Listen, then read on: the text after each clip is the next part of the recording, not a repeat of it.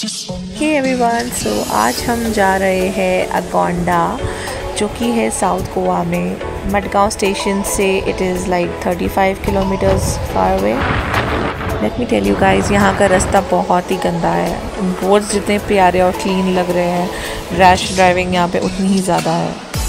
चाहे आप बाइक से आ रहे हो या कार से, यहाँ पे हर कोई ओवरटेक करने के लिए देख है। और फिर बस की एक्स मुझे दिख गई, जो कि जा रही थी कहीं अकेले। फिर दूसरी एक्स भी दिख गई। और फिर रास्ते में हमें देखे काफ़ी सारे फॉरेनर्स कुछ जिम कर रहे थे।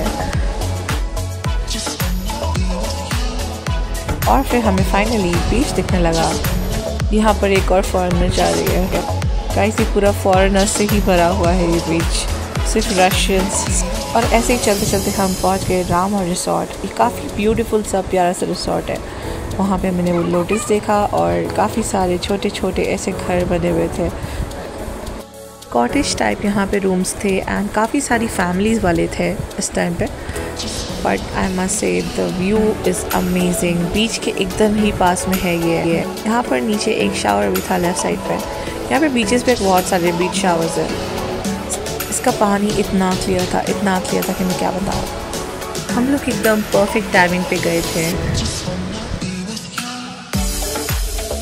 और हमें दिखी फॉरेनर जो की बॉडी टैनिंग कर रही थी सन से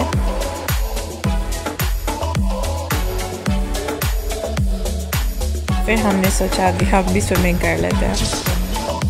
हमने बहुत सारी स्विमिंग की और काफ़ी अच्छा पानी था क्लियर था। थैंक यू एवरीवन हमारा वीडियो देखने के लिए।